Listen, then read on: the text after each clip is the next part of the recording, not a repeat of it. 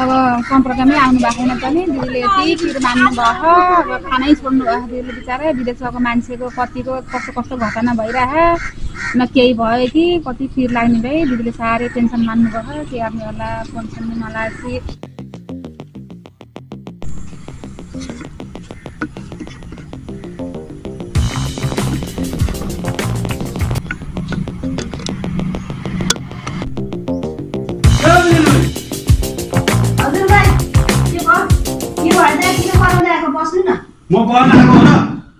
रिसाउनु भएको? किन रिसाउनु भएको दाइ किन नरिसाउनु त? यत्रो महिना भइसक्यो यसमा बेला हिसाब किताब दिनु छैन। अनि चाहिँ विदेश गएको बेलामा पैसा लगेको बुढाको पैसा लगेको त्यो पनि दिनु छैन। अनि किन नरिसाउनु? तिरौँला नि त दाइ एकचोटि पठाएको पैसा यताउता तिरे। अब अर्कोचोटि पठाउनु त तपाईँको तिरौँला नि त त्यस्तै नरिसाउनु न। किन नरिसाउनु? हातैभरि चाहिँ सुन लगाएको छ गा घाँटीभरि चाहिँ सुन लगाएको छ कानमा धेरै लगाएको छ। पैसा चाहिँ पठायो होला नि त विदेश बुढाले। किन रिसाएको दाइ तिरौँला नि तपाईँको पैसा अहिले बुढो सम्पर्कमा नि आउनु भएन। फेरि पठाउनु भयो भने तिरौँला नि अलिक त्यो घाटिया त लाउनु परिहाल्यो नि। अब सबै लगाएको देख्दा रहर लाग्छ के अन्त नि। अर्कोचोटि पठाउँदाखेरि तपाईँको तिरौँला नि त ब्याज भयो नि। त्यसरी कहाँ हुन्छ? अनि अनि मेरो चाहिँ ब्याज मात्रै तिर्दिए पनि मलाई नि सजिलो हुने। अनि मिचो आउनु भएको छ। के अरे घरमा?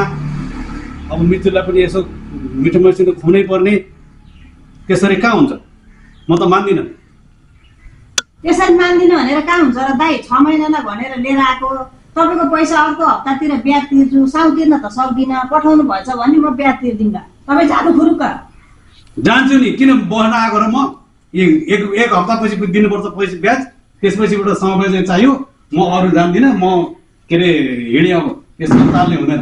म आजकलको मान्छे पनि के भएका हुन् ऋण ल्याएपछि त तिरिहाल्छौँ नि। तिर्छु भन्दा भन्दै पनि फर्काउन आउने। के हाल्ने अब यी बुढोले पठाएको पैसा? सुन सुन लगाइयो अब ऋण तिर्न पर्ने रहेछ बरु। बेकारमा गाली मात्रै खाइयो। होइन यो मिजु कहाँ गएछन् भने क्या यो मिजु मलाई भनेर जान पर्ने हो कतै गए पनि। कता गएछन् कुन्ने? अब मिजु आउने बेलासम्म खेतमा जाए।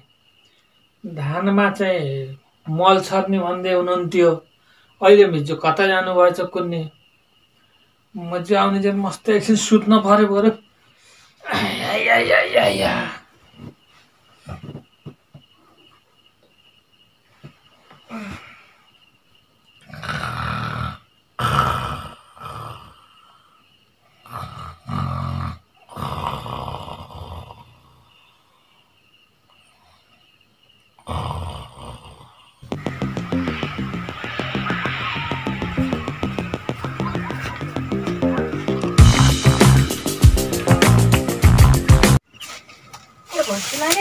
जति घाँस काटे पनि हुँदैन।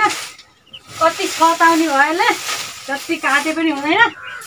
जस पाइँदैन जति गरे पनि कति खाँदो रहेछ यसले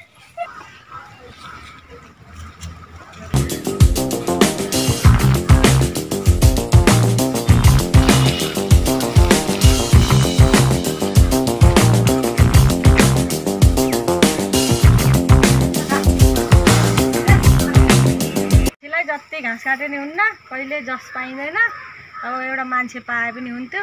एउटा मान्छे खोज्न पर्यो। आइने मान्छे छोरा मान्छे जो पाए पनि हुन्थ्यो राख्न पाए हुन्थ्यो। बुवासँग सल्लाह गर्न पर्यो।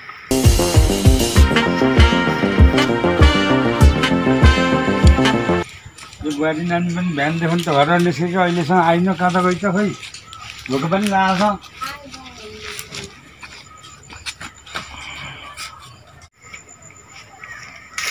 भाइ खोजेको थिएँ नि आउनु जा। भर्खरै। ए, म त घाँस हाल्न गएको थिएँ करे घाँस काटेरै नसकिने गरेर नसकिने एउटा मान्छे राख्न पऱ्यो अब। अब मान्छे भन्ने बेला कहाँ पाइन्छ र अब पाइन्छ भने खोज्ने। पाइहाल्ला नि अब कोही आइमाई मान्छे भयो नि छोरा मान्छे भयो नि पाइहाल्यो नि ल्याउन पऱ्यो एउटा मान्छे अनि सकिएन सन्चोर्ने भयो हुन्न मलाई नि। गाह्रो हुन्छ। एउटा मान्छे राख्न पाए सहिलो हुन्थ्यो ल बुवा मैले घाँस सास पनि हालेँ भर्खर सकर पनि फालेँ घाँस काटेछु म माथितिर गएर आउँछु है हुन्छ छिटो गरेर आयो भने त। अचार बारी के भयो काम यस्ता भनेको नि मान्दैन खाना मिठो मिठो खोज्छन्। अब यस्तोहरू कति साध्य हुन्छ र? यस्तोहरू कसरी घर चल्छ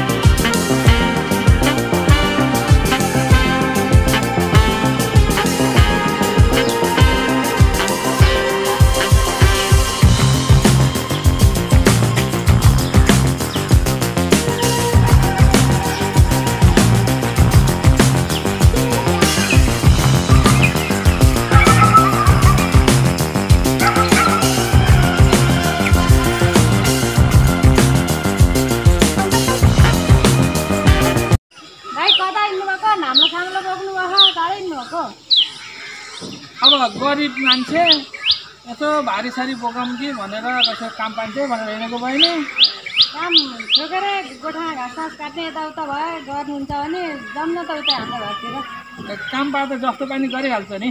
गोठामा काम हो घाँस काट्ने हो के र? अब जाने भयो हिँड्नुहोस् बुवासँग सल्लाह गर्छु के मैले।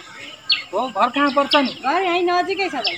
नजिकै हो? हजुर। ए म माथि लेखातिरबाट आएको काम पाइन्छ है भनेर आएको हो। अँ, यहाँ अब कस्तो हो फेरि काम? भारी भारी अब घाँस काट्ने भर्खर सकेर फाल्ने भैँसी छ के भैँसीलाई घाँस सास काट्ने सक्नुहुन्छ होला नि? अनि नानी बस्ने ठाउँ छ त? छ छ बस्ने ठाउँ पनि छ। अब म यहाँ काम गरेर फेरि माथि जाने कुरो हुँदैन। होइन छ कोठा छ अब घर पनि ठाउँ छ। ठाउँ छ अब भर्खर सकेर फाल्ने घाँस काट्ने अब हामीले सकिएन गर्नुहुन्छ ए, हुन्छ नि त त्यसो भएदेखि अब कता हो तल जाउँ नि त त्यही हिँड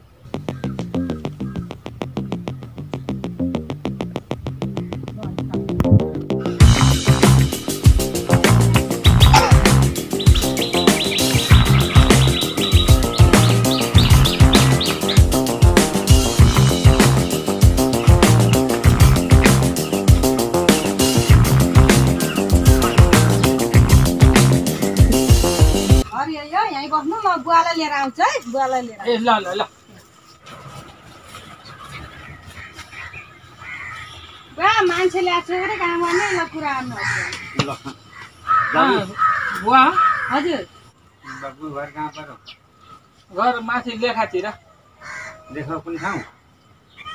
अब हि- हिले सिले के भन्दो रहेछ न अब त्यही हिलेतिर हो। ए अनि कता यता के काम काम खोज्दै आउनुभएको कि? अब के अब गरिब मान्छे यसो काम खोज्न पर्यो भनेर अब तल झरेपछि यसो भारी सारी बोक्न पाइन्छ भनेर अनि त्यहाँबाट नाम्लो साम्लो बोकेर आएको। काम पाएर यसो गरौँला भनेको नानीलाई फेला पारेँ। अनि नानीले अनि ल हाम्रो घरमा काम छ जाऊँ न त भन्नुभयो मैले नि काम खोजेको त्यही भएर अब के काम गर्ने हो? काम त यहाँ एउटा भैँसी छ त्यो भैँसीलाई घाँस काट्ने बगाएर पाल्ने भैँसी दुहुने भैँसी यतिखेर बेच्दा पाँच छ दिन भयो सात दिन भयो आज ए अब त्यो सम्पूर्ण काम यहाँ घरको धन्दा गर्नुपर्छ म बुढा मान्छे सकिनँ ए त्यही भएर बाबुले गर्नुहुन्छ भने ल गरौँ बसौँ खाम होइन हुन्छ गर्न सकिन्छ अनि बस्नलाई यो घर यहीँ बस्ने हो तपाईँहरू हामी तल बस्छौँ बाबु यहीँ बस्ने खाली छ खालि ए ल उसो भने भइहाल्यो खटिया छ यहीँ कपडा ल्याइदिन्छ यहीँ सुत्ने अनि खानालाई के गर्ने? घरमै गएर खाने। घरमै जाने? ए ल ल भइहाल्छ नि यसो। त यसो काम देखाउनु नि त के गर्ने? भैँसी बारी देखाउन पर्यो। जाउँ नि त बारी हेरौँ त उसो घाँस सास काट्ने ठाउँ। ल।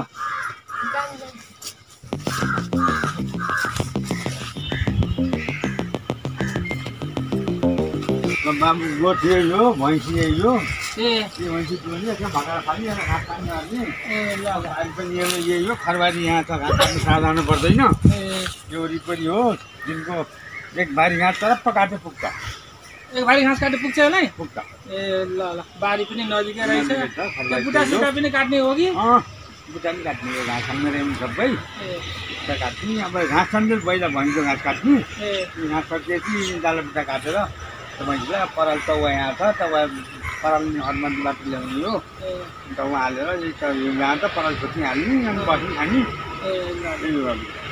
ल ल हुन्छ ल। अब काम गरिहालौँ। अब पहिला चाहिँ यसो घरतिर जाऊँ कि के गर्नु? कति दाम कि पहिले काम गर्ने पछि काम गर्नु पर्दैन। खाना खाने अनि आरामले दिउँसो बेलुका बखत काटौँ लगा ल। ल ल। हुन्छ अब काम गर्ने मान्छे पनि पाइहाल्यो घाँस काट्ने मान्छे पनि पाइहाल्यो अब मोबाइल हेर्ने बस्ने अब स्याहार्ने अब स्याहार्ने टिक्नेमै कति दिन हो थाहा छैन।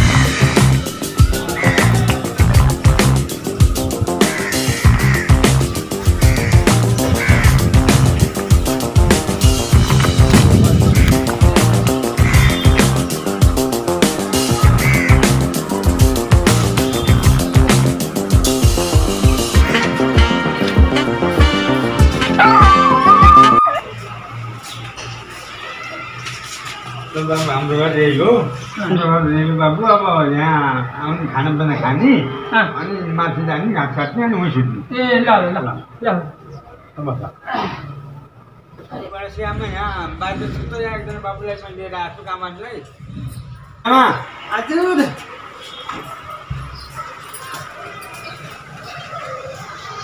किन हो र?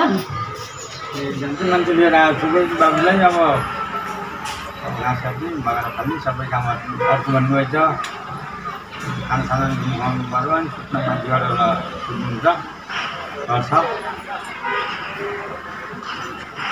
कहाँ हो फेरि छोडेर आइछन् अब घाँस सास काट्ने बगाएर फाल्ने मैसी धुने सबै अर्चन अरे अब हामीले विदेशका गाउँमा सकिन्न अब के गर्छु तपाईँलाई सोध्छु के भन्नु भन्नुहुन्छ काट्न सक्ने हो सबै गर्नु पऱ्यो भैँसी पनि दुहुन पऱ्यो नसौताका दिन सकिन्छ कि सकिन्न गर्छु सबै काम गर्छु माथि लेखा गर्ने गरेको सबै त्यही गाई भैँसी पालेर बसेको थियो अब अहिले गाई भैँसी पाल्न सकिएन घाँस पनि नआउने त्यही भएर यसो औलातिर झलम भनेर झरेको सबै काम गर्छु म छोडेर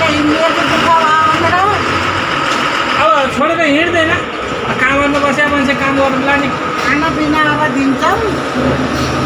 तलब दिन पऱ्यो अनि माथि घर अनि फेरि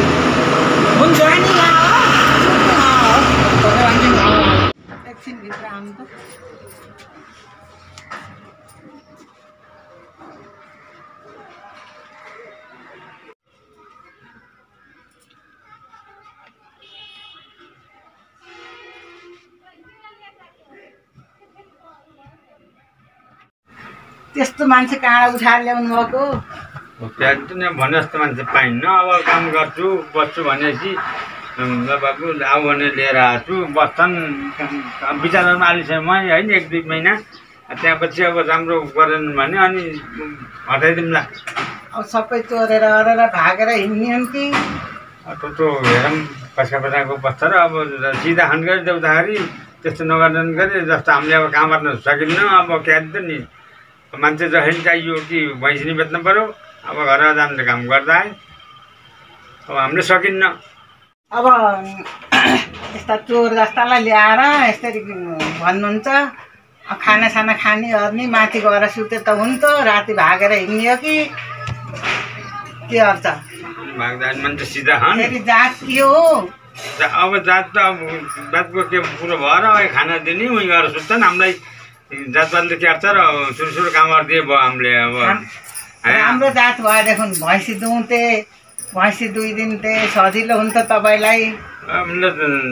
मन नसके दुहुन्छन् उनले दुहुन्छन् मैले ल्याउँछु। अब क्या नि जम्मा हेरेर सम्भवै हुन्न गरे सबै कुरा यो उस भन्ने भने त त्यस्तो मान्छे के अरे अब हेरौँ अरू दुई चार पाँच सात दिन काम कस्तो छ हेरौँ।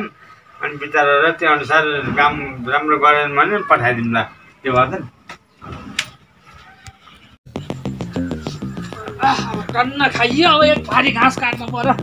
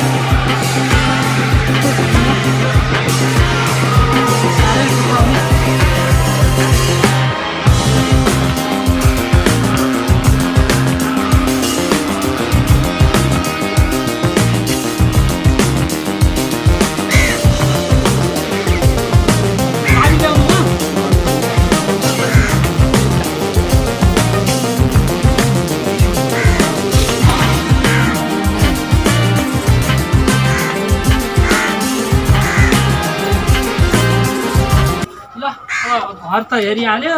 घाँस काटियो। अँ घाँस काटिएको छ गर नभए हेर्नु गर।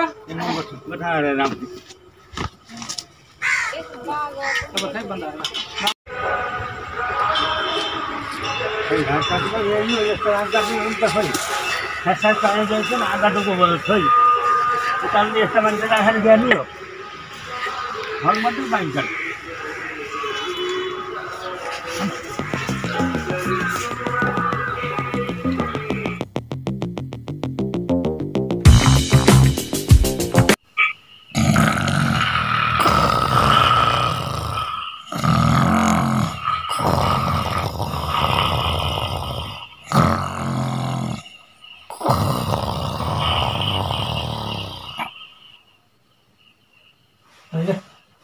करायो? मिजु आउनुभयो कि क्या हो? आया आया आया ल मस्त मस्त निद्याएर सपना पो देखेछु पा। पाहाडमा कोही काम गरिरहेको? त्यही सपना पो देखिरहेको त मैले त। है तेरिका। अब मिजु आउनुभयो होला अब घर मल छर्न जाने भन्दै हुनुहुन्थ्यो अब। मल लिएर आउनुभयो होला मल छर्न जानु पऱ्यो आया आया।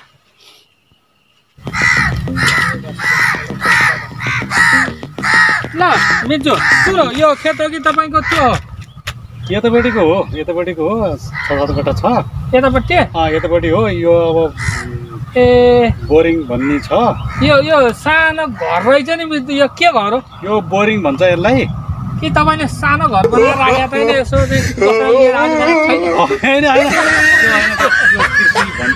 बोरिङ भन्छ। ए त्यहाँ बोरिङ बनाएर अँ, बोरिङ भनेको मतलब पानी पानी निकाल्ने तलबाट। ए, पानी आउँछ अँ त्यहाँबाट पानी आउँछ। पाहाडको पाहाडको डाँडाबाट खसे जस्तै ए। त्यहाँ मोटर चलाइदियो भने पानी दन आउँछ। ए। दुई बाली धान हुन्छ। हो? दुई बाली धान हुन्छ। खेती गर्नलाई चाहिँ त्यहाँ। भित्र हेर्न मिल्छ? मिल्छ। जाऊ नि त मिल्छ यही हो बोरिङ। ए। बोरिङ भन्छ यसलाई पाहाडको पाहाड जस्तै निकालेको हो। राखेर राख्नु पऱ्यो हेर्नु खोज्नु भएन। हेरौँ त। यो- राखेर यो यसलाई राखौँ यहाँ। अनि है? यहाँ त हरा गाडेर। धारा रहेछ है? यहाँबाट पानी छ। पानी हाल्नुपर्छ धारामा? अँ यो पानी निकाल्नलाई पानी नै हाल्नुपर्छ। त्यो अटोमेटिक छैन। कस्तो है? तलबाट पानी आउँछ है? हाम्रो पाहाडबाट अब त्यो मूलबाट आउँछ। अ, कहाँबाट कहाँबाट मूलबाट आउँछ। हामीले यस्तो तलबाट निकाल्न त यस्तो मिसिनहरू छैन। तल आउँदो रहेछ पानी तान्छ मोटरले।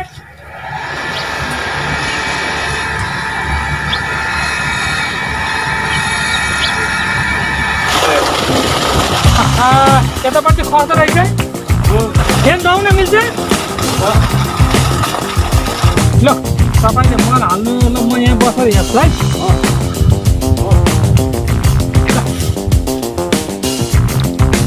त्यस्तो युरिया हाल्नुपर्ने रहेछ है यहाँ। त यो। हाम्रो पाहाडतिर त मल हाल्छ है गोबर मल हाल्छ अनि त्यसपछि यो त अहिले हाल्नु पर्दैन अहिले त कुनै कुनैमा नि हाल्नु पर्छ अरे।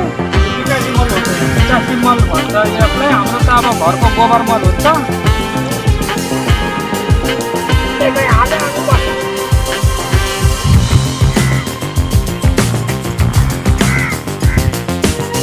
अब सकिहाल्यो है मल छरेर ल त्यो पनि यहाँ राखौँ ल। यो समय कति सजिलो है। साइकलमा चाहिँ खुर्र लिएर हिँड्यो। पाहाडमा त हाम्रो साइकल पनि हुँदैन। यसमा त लडेर लिएर हिँड्यो है। यसरी गजाबले चाहिँ है। चढ्न पनि हुने निकाल्न नि हुने। म म डराउँछु है त। हो। त्यो फेरि लन्ठा लुन्ठुङ गर्ने हो कि? होइन